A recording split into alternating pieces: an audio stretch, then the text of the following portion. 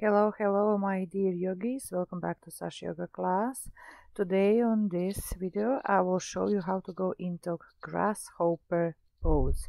Before you start actually with this pose, make sure that you warm up your body. Do some asanas before. You can do some breathings. The perfect pose for this is Paschimottanasana or seated forward bend.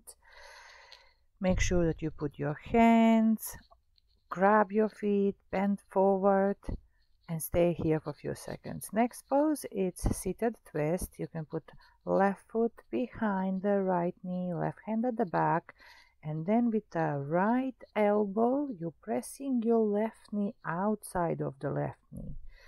Make sure that your back are straight. Stretch our body, stretch our arms, warm up ankles, warm up wrist, everything. So from this pose, you turn around. We are still here. Left foot is behind. Bring that foot closer to your right hip. Place the hands in front of you. Right hand goes below right shoulder. Bend forward. Grab your foot. Lift your right leg with left hand and then lift up, lift up your hips. Here we go. Grasshopper pose. If you get tired, just sit down, try again.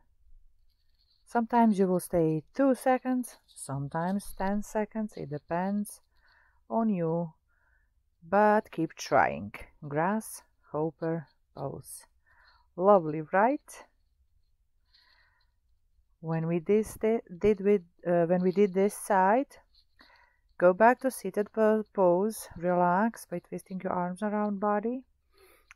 Let's do the other side. So we will go on our right hip right foot goes behind the left knee. Let's go on our left hip. Bring that foot closer to your left hip. Left hand goes just below your left shoulder. Bend forward.